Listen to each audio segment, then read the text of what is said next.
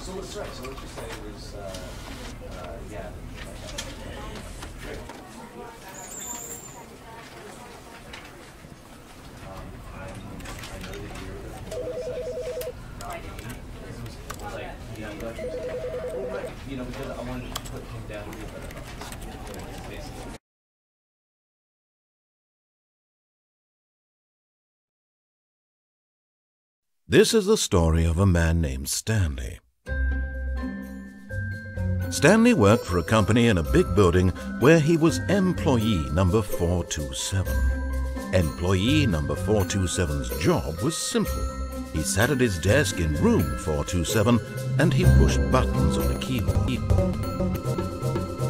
Orders came to him through a monitor on his desk, telling him what buttons to push, how long to push them, and in what order. This is what employee 427 did every day of every month of every year. And although others might have considered it soul-winning, Stanley relished every moment that the orders came in, as though he had been made exactly for this job. And Stanley was happy. And then one day, something very peculiar happened. Something that would forever change Stanley something he would never quite forget. He had been at his desk for nearly an hour when he realized that not one single order had arrived on the monitor for him to follow. No one had showed up to give him instructions, call a meeting, or even say hi. Never in all his years at the company had this happened, this complete isolation. Something was very clearly wrong. Shocked, frozen solid, Stanley found himself unable to move for the longest time. But as he came to his wits and regained his senses, he got up from his desk and stepped out of his office.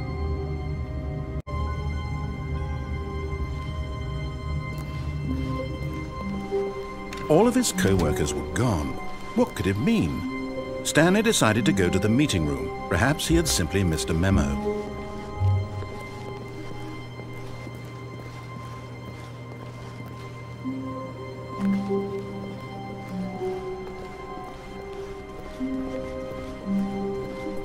When Stanley came to a set of two open doors, he entered the door on his left.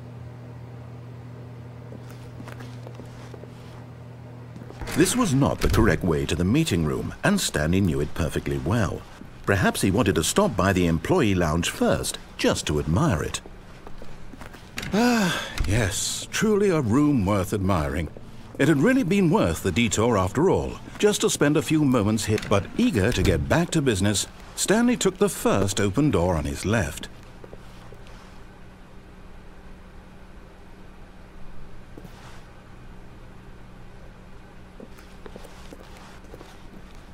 Stanley was so bad at following directions, it's incredible he wasn't fired years ago.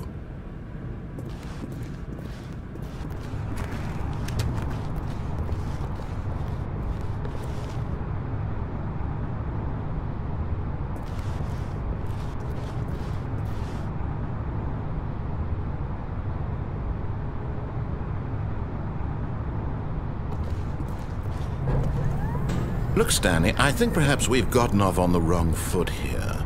I'm not your enemy, really, I'm not. I realize that investing your trust in someone else can be difficult, but the fact is that the story has been about nothing but you all this time. There's someone you've been neglecting, Stanley. Someone you've forgotten. What? Really? I was in the middle of something. Do you have zero consideration for others? Are you that convinced that I want something bad to happen to you? Why, I don't know how to convince you of this, but I really do want to help you, to show you something beautiful. Look, let me prove it. Let me prove that I'm on your side. Give me a chance.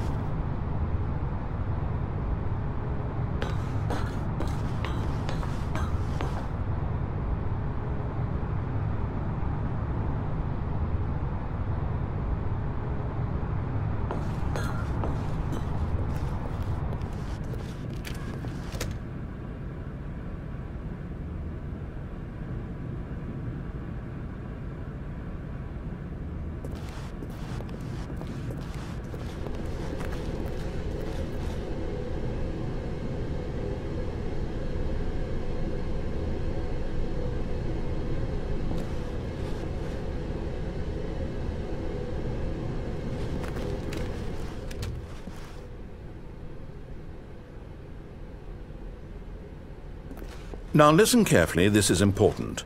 Stanley walked through the red door.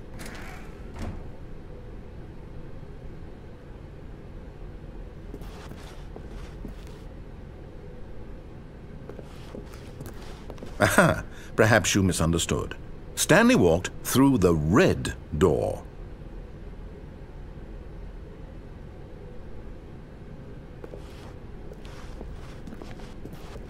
Oh, thank God you are willing to listen to me. Do you see that I really have wanted you to be happy all this time? The problem is all these choices. The two of us always trying to get somewhere that isn't here. Running and running and running, just the way you're doing right now. Don't you see that it's killing us, Stanley? I just... I wanted to stop. I would... We would both be so much happier if we just stopped. And I think... Well, I think I have a solution. Here, let me show you.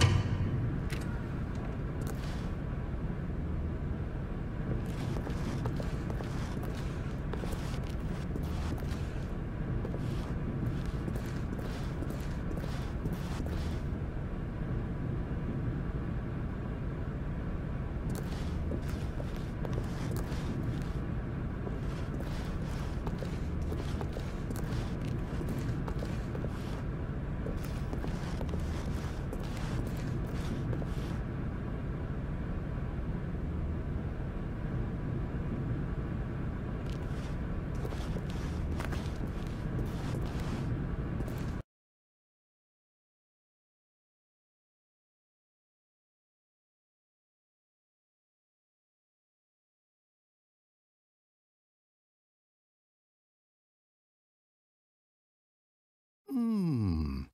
What do we want? What are we looking for? Hmm?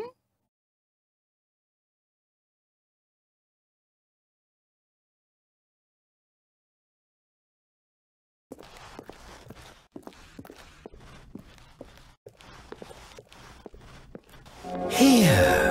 Yes. Oh, it's beautiful, isn't it? If we just stay right here, right in this moment with this place, Stanley, I think I feel happy. I actually feel happy.